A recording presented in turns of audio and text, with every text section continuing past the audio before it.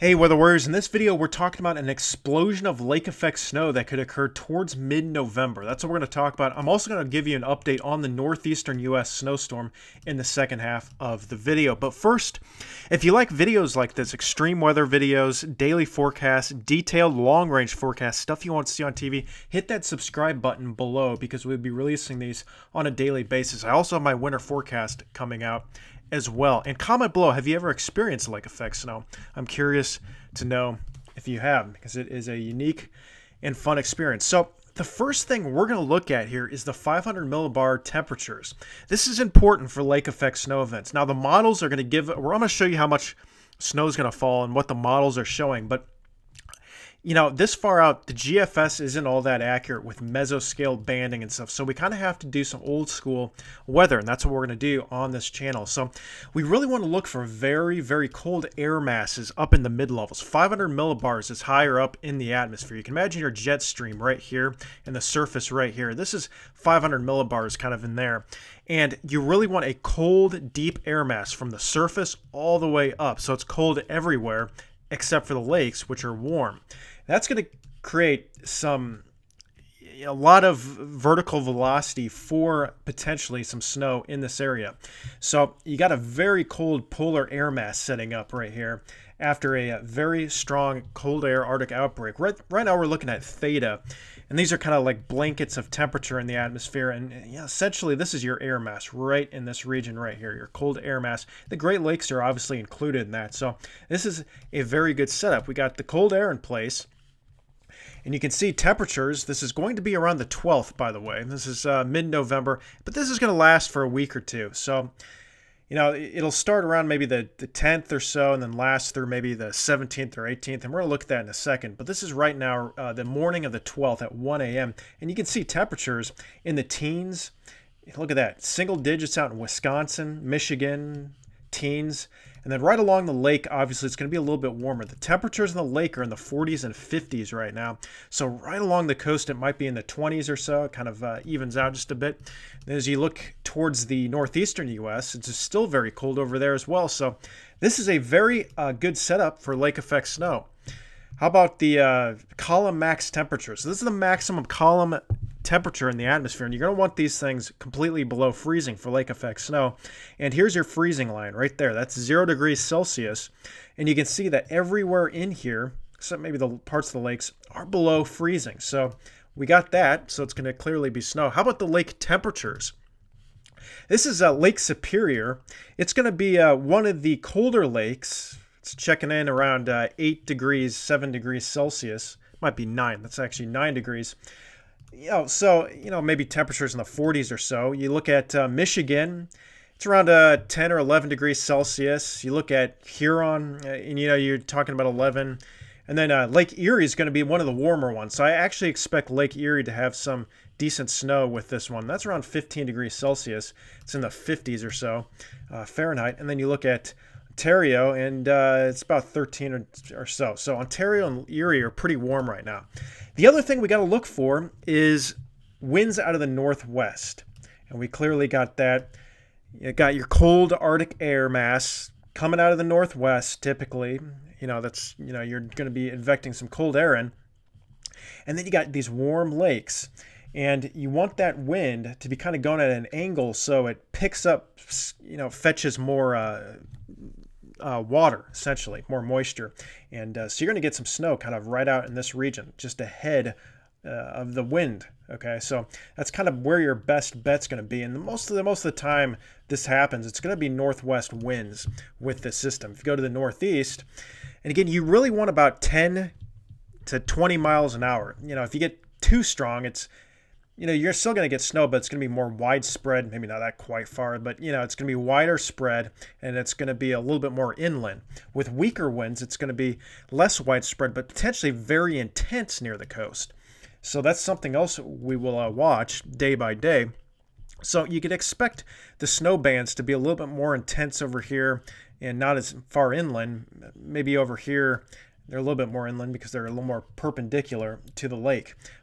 You know, this area right here out ahead of this, you can see all that fetch right there. Probably a pretty good area for snow uh, near Lake Erie there. So Let's get uh, into the relative humidity. First, I wanted to show you something. You know, with the lake temperatures, we really want to be about 10 degrees warmer on that lake. And, you know, you got temperatures in the 40s and 50s, and then on the lakes, and then at surface, you know, you're talking 20s and, and teens, really. Um, but uh, maybe, uh, you know, this area looks pretty prime. And then obviously, um, as you go towards Lake Erie, I believe, is going to be a pretty good area too you know, Lake Erie was in the almost 50s or so lake temperatures, and then you got teens out there, so probably some pretty good snow out there. How about the moisture? Well, we got plenty of moisture. This is the areas you want to watch. These bands. This is the mid-level 700 millibar of relative humidity. And essentially, you can see these uh, plumes of humidity just above the surface in the mid levels coming off the lake.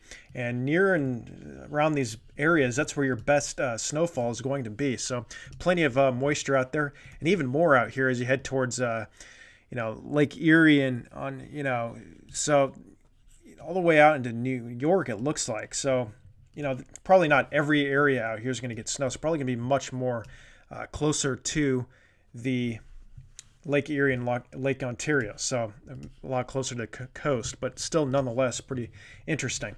Then you got the 700 millibar velocity. This is going to give you kind of your lift, your mid-level lift, how fast are particles rising in the mid-levels.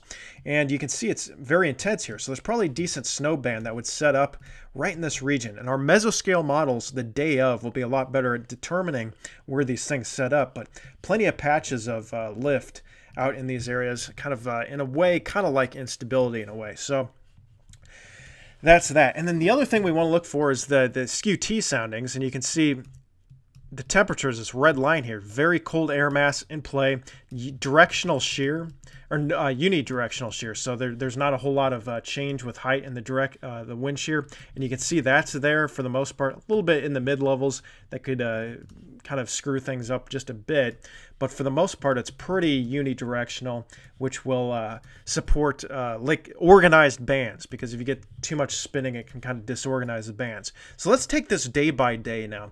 We're looking at the 10th. This is Sunday.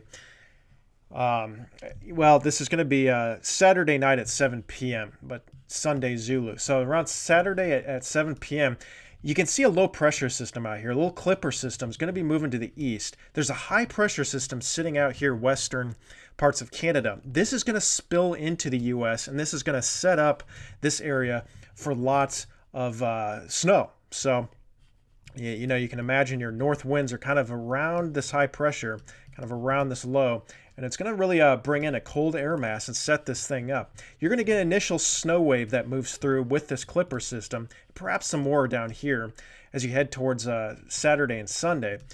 You know, as we go towards uh, Sunday now at 7 p.m., uh, you know, the clipper moves to the east. Our lake effect snow starts to fire up. This high is moving in now, and you got probably some northwest winds, north north winds coming out into this region right here very cold temperatures. You can see this 540 line is kind of your average temperature being freezing, and you're all the way at 504 almost in the northern U.S. So very cold air mass. This is kind of January caliber.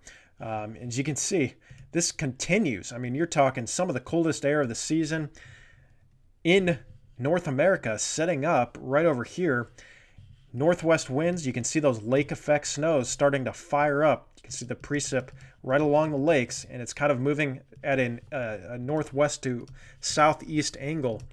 As you can see, uh, this is Tuesday at uh, around 1 a, or about yeah, it's gonna be around 1 a.m. Tuesday. You can see some bands setting up there. There's that lift I was talking about, that mid-level lift, really strong in that area. This is gonna change a lot, so we'll uh, you know, make some updates if anything crazy happens. But we're just looking at the potential right now, and you can obviously see a very heavy snow band right in that region. As you go towards the northeastern United States, those warm waters off Lake Erie, it's going to put a nice band out. You had kind of a north, almost west-northwest winds. Actually, let me redraw that. West-northwest winds. And that's going to help the fetch over here. Probably going to give some decent uh, snow bands that set up just uh, to the east of Lake Erie, and then also a little bit near Ontario as well. So how about uh, the day on uh, Tuesday night now? This is around 7 p.m. Still a little bit of lake effect snow. This high pressure is moving to the east. So we'll fast forward it again. And then uh, we'll go to Wednesday around 7 p.m. Little clipper up here. High pressure system out here. Still pretty good northwest winds, still very cold air. Going to be another batch of snow that develops on Wednesday around 7 p.m. Then we go to Thursday. That clipper moves to the east, so it actually will give you a reinforcing shot of snow for the northeastern United States. Might actually be a little bit of a uh, little bit of uh, lake effect snow. The, the the thing to look for now is the high is over to the east, and there is one out here, but it is warming up, so the potential will start to die down mid-month if it starts to warm up. And as you can see here, another high moves in, but it's really starting to warm up now. And you're going to start to get winds more southerly. And really, the northwest winds are kind of tapering off. The Arctic air mass is now starting to move to the east. And so around the 16th or so, that's around Saturday at 7 p.m., and eh, that'll start to taper off. But nonetheless, that week from around the 11th to the 16th or so, there could be quite a bit of snow out in the Great Lakes region. So how much is the GFS saying? Well, you know, the GFS is not going to do great with mesoscale bandings, which is 90% of these lake effect snow events. So it's it's going to have a hard time seeing this locally. You know, you know, just because it says two feet here doesn't mean everyone's going to get two feet. It might be a small area. And also, it might be a very small area that gets like three feet because the GFS sometimes can't see those mesoscale bands um, as effectively as like the HRR. But nonetheless, this uh, model is showing close to two to three feet out here where that heavy lift was where that uh, fetch was pretty good right along you see these uh, waters right here it's a larger fetch coming down here. There could be some decent snow in that area, but nonetheless, there's a good 8 to 12 inches here for much of uh, western Michigan, even parts of Wisconsin, the northern parts of Wisconsin. And uh, as we head towards the northeast, you can see here we are, Lake Erie. There's a good uh, 12 to 15 inches in there, right along the coast. And I really do think if you can get some kind of west northwest winds, you're going to have some pretty good fetch for some pretty good snow out here in this area. The winds were a little bit stronger at times out here, which could blow it more inland as you get towards New York and Pennsylvania and potentially Ohio as well. And obviously this model is showing good 6 to 15 inches in that area during that time. I do think that we'll, if we do get this setup to occur, we could have some localized areas well over a foot. Uh, it's going to be very small, not very widespread, but again, you know, the mesoscale models will handle that better. And as you go farther north into New York, a good 6 to 12 inches as well. Uh, but part of that might be the system that is coming out this weekend, or uh, yeah, around uh, later this week, and we'll get into that in a second. This is uh, a little more widespread view, I believe. And you had that clipper. This is with the clipper system that moved through. Still plenty of snow out here, and then obviously Michigan. Look at that, six to eight inches with that clipper, but we're not going to talk about that in this video too much. So that was mostly just the uh, lake effect that I was talking about. Now we're going to check out that northeastern U.S. winter storm. Now, I know a lot of people were saying this is going to be a, a very major storm. You know, I like to I like to save the word major for like storms that are in the 12 to 24 inch range.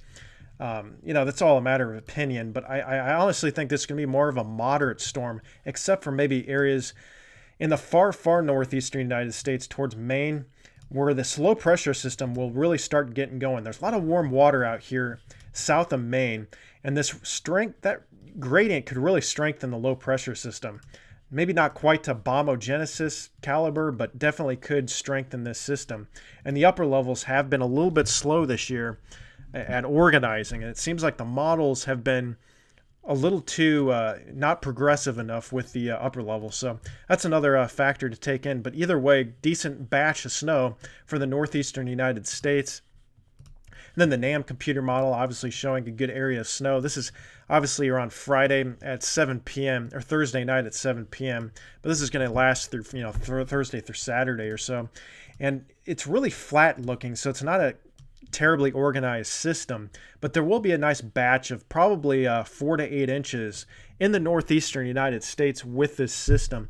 I'm not overly impressed with the you know major aspects of this. I, I think it's going to be more of a moderate event. You look at the upper levels; it's kind of flat looking. You really want to see a nice bowling ball closed off type of system. And that does happen. You know, this is uh, Thursday night at 7. As you go towards Friday at 1 p.m., this does start to organize here. But by the time it organizes, your best divergence, your best lift is going to be kind of right off the coast and maybe towards Maine and you know parts of Canada there. So it might actually organize just a little bit too late uh, with this system. And the previous couple storms have been uh, the models have kind of overestimated the uh, or underestimated the speed and the organization with these things. It seems like they organize a little bit later than what the models were saying. It'll be interesting to see if this happens with this particular model. The NAM computer model has a swath of uh, several inches for northeastern United States. This area looks kind of chippy on them, this particular model. I mean, you look at the Euro and the other models, it's good three to eight inches out there. And then obviously out here, it's a good six to eight or so. Uh, like I said, I'm generally thinking, uh, you know, in this region, four to eight inches with Maine really being the bullseye here with maybe six to 10 inches or so as you go towards Maine. So I guess in Maine, maybe it's more of a, a significant event. But uh, the rest of the Northeast, it's really, you know, you have to really get this system going. It's going to be kind of flat and it's going to be a little bit late to organize. But either way, it's it's November and we're talking about a pretty decent snow event for this area as we head towards uh, you know mid-November here. So really kicking off early. This is a pattern we'll probably see more in the winter that could deliver much bigger storms in this region than the one we are seeing right now. So this is a good sign if you like snow in the northeastern United States. Already getting your uh, snow totals racked up on the records list. Who knows how deep the records will go this winter. So nonetheless, that's going to be uh, about it for today. Again, if you like daily forecast updates, daily forecast breakdowns go more in depth than the stuff you see on TV. If you like uh, time lapses, extreme weather events, click that subscribe button. Also, comment below if you've ever experienced lake effect snow. And uh, check out my winter forecast. I'll be posting it up there. And uh, smash that thumbs up button if you found this video helpful. And then uh, also subscribe and uh, hope you enjoyed this video. Have a great day, and we'll see you soon.